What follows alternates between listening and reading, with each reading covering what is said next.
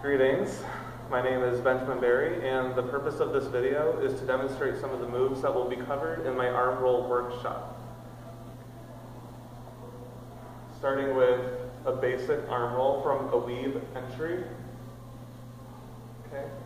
Then we'll play around with grip entry and reversals, forearm rolls,